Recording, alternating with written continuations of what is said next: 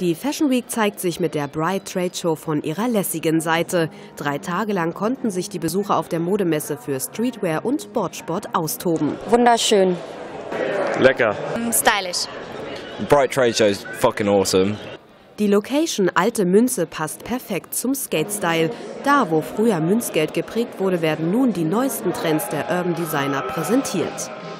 Die Bright ist eine Skate- und Streetwear-Messe, gestartet in Frankfurt in 2005. Ähm, wir sind umgezogen 2010 nach Berlin und seit 2013 hier in Mitte in der Alten Münze. Labels, Einkäufer und Street-Ikonen aus aller Welt machen sich einen Eindruck von den neuesten Entwürfen der internationalen Marken der sogenannten Brands.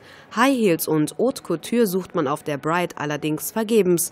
Auf der Modemesse dreht sich alles um Sneakers, Shirts und Skateboards. Wenn du dich hier umschaust, das ist alles recht familiär. Ähm, die ganze Szene kennt sich untereinander europaweit und äh, die nimmt das wahr, ähm, sich hier zu treffen, zweimal im Jahr und Business zu machen, auszutauschen, gucken, wo die neuen Trends hingehen. Für die Veranstalter war die Bright auch in diesem Jahr ein voller Erfolg. Mit der Mercedes-Benz Fashion Week und der Bread Butter Messe hat die Hauptstadt wieder einmal mehr bewiesen, dass sie eine der Modemetropolen schlechthin ist. Egal ob glamourös in High Fashion oder lockerlässig in Shirts.